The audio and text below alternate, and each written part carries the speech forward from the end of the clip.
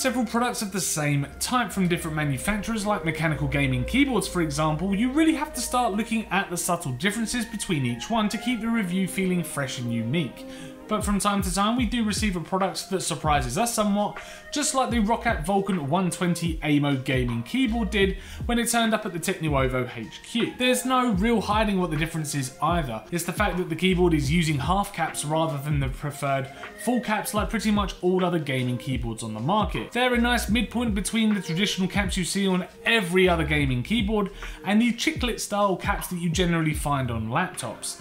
Now the actual half caps also expose the lighting effects, sending light in all directions.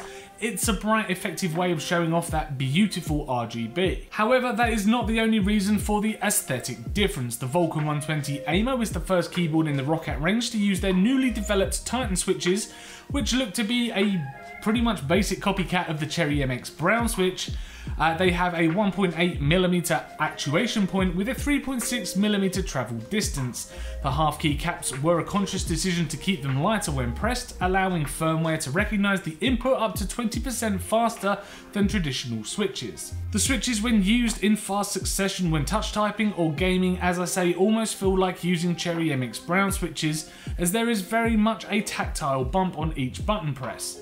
Now the Titan switches have improved the traditional design of the Cherry MX switches by installing two pieces of plastic either side of the crosshair switch uh, because there is no sides to the actual keys it needed something to stabilize them. Now by no means is this perfect and there's still very much a physical wiggle to each key. It didn't get in the way of my gaming though and what's also strange is the fact that the keys are uh, concave, which is typical of keyboards, except the bottom row. Now the control, Windows, Alt and FN keys are all convex. Now I'm not sure why Roccat have decided on this aesthetic as it doesn't really make too much difference when in use. So the base plate itself is made from anodized aluminium which definitely adds a chunk of overall weight to the keyboard but it also means that it's tough and will not shy away if bashed around a bit during intense gaming sessions. The keys have also been sealed for dust resistance, which reduces gunk buildup, which could damage the actuation of each key.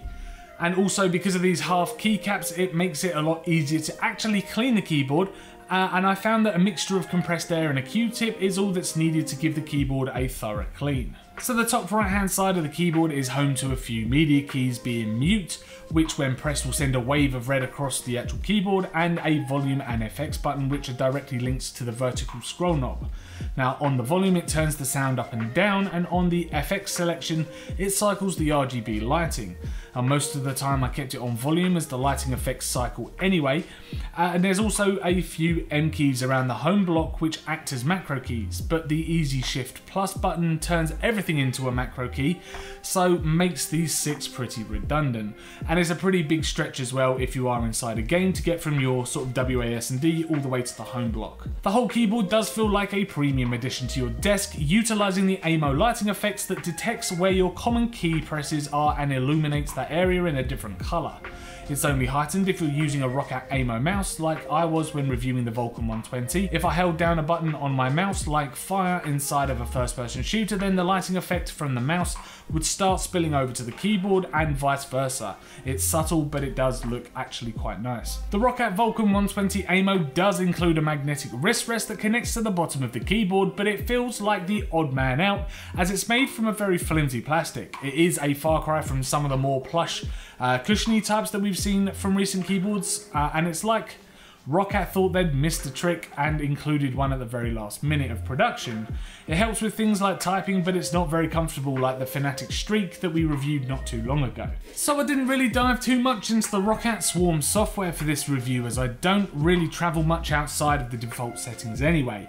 I did change my lighting setup to the AIMO effect though, as you know, RGB lighting, it's it can look quite awesome and it looks quite tasteful here, but there's also some intuitive in-depth ability to set up your macros if you do wish. There's also an annoying sound effect that you can set every time a key is pressed. Don't do that it's annoying and you'll be turning it off quicker than turning it on. So there is a lot to like about the Roccat Vulcan 120 AIMO gaming keyboard and it's definitely one that's going to stay connected to my gaming rig for a while. I just wonder how quickly this trend of using laptop style keycaps is going to take off. I do, however, like it, and I definitely think that if you're in the market for a new gaming keyboard, then you should definitely check out this one. If you can try before you buy, then do do that option because the chiclet style laptop keycaps may not be for you. So thank you very much for checking out our video review of the Roccat Vulcan 120 AIMO gaming keyboard.